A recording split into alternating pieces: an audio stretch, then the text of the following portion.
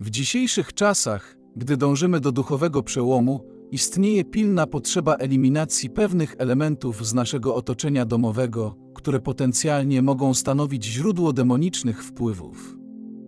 Przede wszystkim zalecamy modlitwę do Ducha Świętego w celu otrzymania objawienia dotyczącego tego, co należy usunąć z naszego otoczenia. Taka modlitwa poprowadzi nas do zrozumienia, co stanowi potencjalne zagrożenie dla naszego duchowego dobra. Rozpoczynając od elementów oczywistych, warto przeanalizować nasze miejsce zamieszkania i zidentyfikować przedmioty, które są jednoznacznie niezgodne z wartościami chrześcijańskimi. Czasem wystarczy jedno spojrzenie, aby zauważyć rzeczy, które nie powinny znaleźć się w domu osoby wyznającej wiarę. Warto przy tym kierować się zasadą, że gdy pojawi się chociaż cień wątpliwości, należy zdecydowanie pozbyć się danego przedmiotu. Kolejnym krokiem jest przeglądanie pomieszczeń, takich jak szafy, biura, piwnice, podwórka czy magazyny, aby upewnić się, że nie zalega tam nic, co mogłoby kolidować z naszymi przekonaniami duchowymi. Nawet samochód nie powinien pozostawać poza naszym polem uwagi podczas tego procesu eliminacji. Skupienie się na przestrzeni cyfrowej jest równie istotne, jak dbanie o nasze otoczenie fizyczne. Należy przejrzeć obrazy, zdjęcia czy inne materiały zgromadzone w przestrzeni online, usuwając te, które nie przyczyniają się do gloryfikowania Jezusa Chrystusa. Kolejnym ważnym aspektem jest identyfikacja demonicznych symboli w różnych przedmiotach, takich jak ceramika, biżuteria, ubrania, książki. Symbolika używana przez rdzennych Amerykanów może być szczególnie delikatnym obszarem do zbadania, gdyż niektóre z tych elementów są używane jako punkty kontaktowe z duchowym królestwem ciemności. Przykładem są tu łapacze snów, które mogą także stać się otwartymi drzwiami dla duchowych ataków. Warto zrozumieć, że te przedmioty, choć mogą wydawać się niewinne czy estetyczne, mogą być związane z demonami i w konsekwencji oddziaływać na nasze życie duchowe. Eliminacja tych elementów stanowi istotny krok w kierunku osiągnięcia duchowego przełomu, umożliwiając nam pełniejsze doświadczenie Bożej obecności i zbliżenie się do Jego planu dla naszego życia. Kolejnym istotnym aspektem, który zasługuje na naszą refleksję, są symbole, książki i przedmioty związane z nurtami New Age. Często ludzie bagatelizują ich znaczenie, twierdząc, że to jedynie zabawka czy narzędzie do przewidywania przyszłości. Jednakże istnieje głębsza perspektywa, która podnosi kwestię tego, czy te przedmioty nie niosą ze sobą pewnych duchowych konsekwencji. Oszczędźmy sobie pozornie naiwne stwierdzenia typu, co złego może być w kartach tarota. W perspektywie duchowej wielu ludzi wierzących istnieje realne ryzyko, że tego typu przedmioty stanowią przekaźnik pomiędzy naszym światem a sferą demoniczną. Warto więc zdecydowanie zrezygnować z obecności w domu przedmiotów, które symbolicznie reprezentują i propagują nauki New Age. Inną istotną kwestią w kontekście oczyszczania przestrzeni duchowej są symbole, książki i przedmioty związane z praktyką czarów.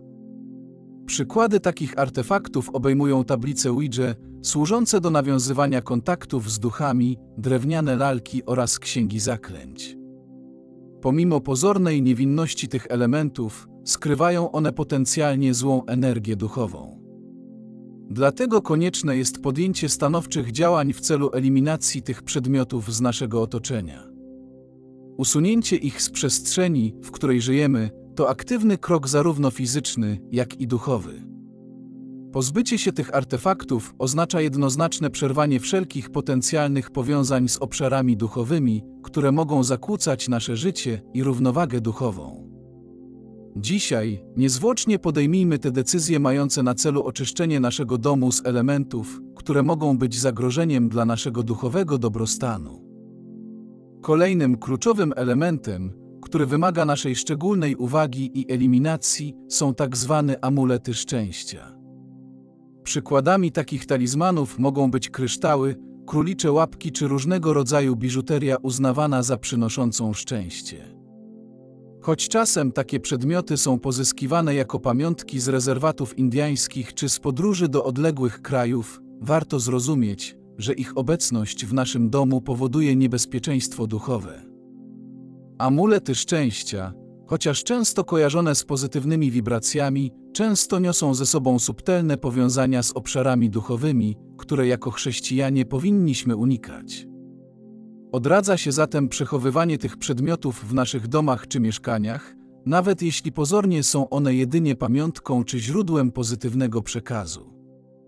Kolejnym istotnym aspektem do rozważenia są symbole, obrazy i posągi związane z innymi religiami. Przykładowo teksty satanistyczne, posągi świętych, pentagramy, a nawet symbole kojarzące się z motywem śmierci, takie jak czaszki, szkielety czy węże, stanowią potencjalne źródło złych mocy. Chociaż elementy te mogą być postrzegane jako czysto kulturowe, ich obecność w naszym otoczeniu niesie ze sobą mroczne powiązania, które kolidują z naszym chrześcijańskim światopoglądem. W kontekście naszej wiary i wartości konieczne jest zrozumienie, że te przedmioty, choć mogą wydawać się niewinne, są często związane z obszarami, które jako chrześcijanie zdecydowanie odrzucamy. W związku z tym, podjęcie decyzji o eliminacji tych elementów z naszego codziennego otoczenia staje się nie tylko aktem duchowego oczyszczenia, ale również wyrazem konsekwentnego trwania przy naszych chrześcijańskich przekonaniach.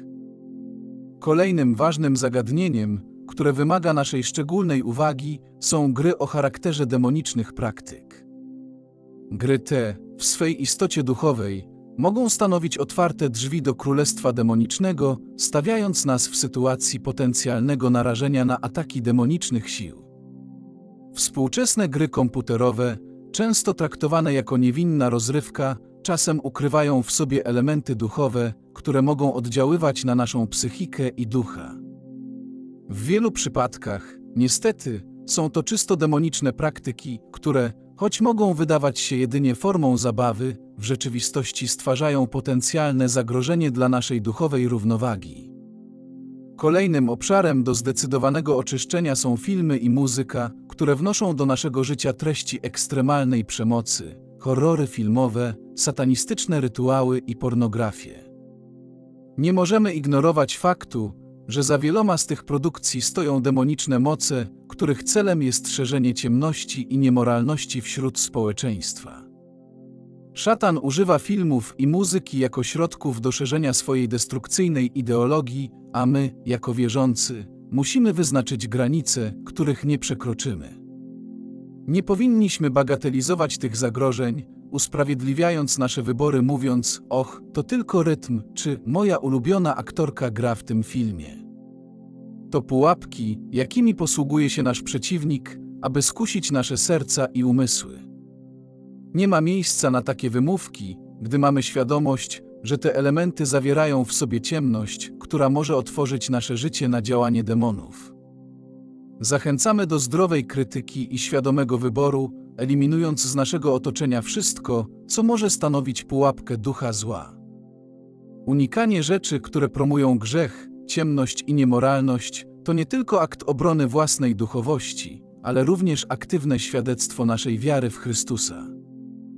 Po usunięciu przeklętych przedmiotów z naszego domu, wielu z nas może zastanawiać się, co dalej zrobić z tymi rzeczami, które były obciążone złymi mocami. Po tym, jak poprosiliśmy Ducha Świętego o objawienie, zaczęliśmy od wyeliminowania oczywistych rzeczy, sprawdziliśmy każdy zakamarek naszego domu i przeskanowaliśmy przestrzeń cyfrową. Teraz, gdy stoimy w obliczu pytań o los tych przedmiotów, ubrań lub cyfrowych artefaktów, jak postępujemy? Fizyczne przedmioty, które zawierały w sobie ciemne energie, najlepiej jest spalić ogniem. Ten akt nie tylko stanowi dosłowne zniszczenie przedmiotu, ale także symboliczne oczyszczenie poprzez ogień. Jednakże czasami istnieją rzeczy, które nie można spalić, i wtedy należy po prostu je zniszczyć i wyrzucić. Podczas tego procesu ważne jest, aby wyraźnie się tych rzeczy wyrzec, jednocześnie zrywając wszelkie związki z duchami, które mogły być z nimi związane. Jeśli chodzi o przestrzeń cyfrową, usunięcie tych rzeczy jest jednym z kluczowych kroków. Usuwamy je bezpowrotnie, opróżniając kosz na śmieci, pozbywając się każdego cyfrowego śladu. Po zakończeniu procesu usuwania, powinniśmy pomyśleć o ponownym poświęceniu naszej przestrzeni Panu. Namaszczając nasz dom olejem, wyrażamy nasze pragnienie, aby cała przestrzeń, zarówno fizyczna, jak i duchowa, znajdowała się pod Bożą opieką. Dotyczy to nie tylko naszych ciał, ale także naszych dusz, a także każdego aspektu naszego otoczenia. Usunięcie zła to jedno, ale zastąpienie go dobrem jest równie ważne. Nie chodzi tu o umieszczanie symboli religijnych, ale całkowite ofiarowanie domu i siebie Chrystusowi, aby strzegł nas i nasze otoczenie. Mamy nadzieję, że te wskazówki zapewnią pewną jasność i zrozumienie w kontekście oczyszczania domu z złych mocy. Niech Bóg błogosławi i chroni Waszą przestrzeń.